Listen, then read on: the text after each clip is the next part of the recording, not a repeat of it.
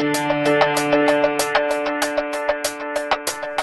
my name is Aileen Perez and I'm an astrophysicist and this is the discovery of meteorites.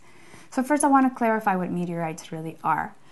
Um, if we have uh, the Earth, whenever rock from space that has passed the atmosphere and burned through the atmosphere and have actually reached the ground, that's called a meteorite where it came from an impact when a whether it came from an asteroid or a meteoroid it, it, doesn't matter. It's just the rock that is left on the surface is kind of like a fossil. It's just like what's left over on the surface of the earth. And that's what we call a meteorite.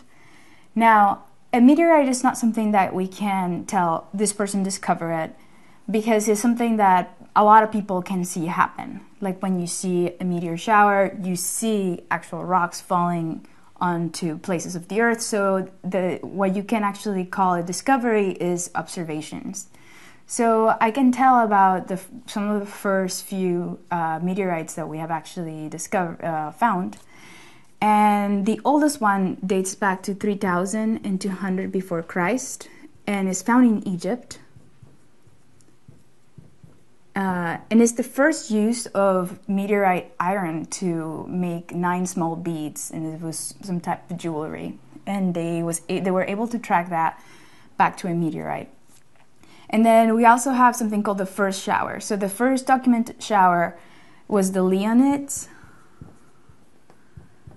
and this happened in 1883, and it came from the comet Tempel Tuttle. So these are some of the first uh, documented uh, histories that we have of meteorites, but it hasn't really been assigned to the discovery uh, to one scientist.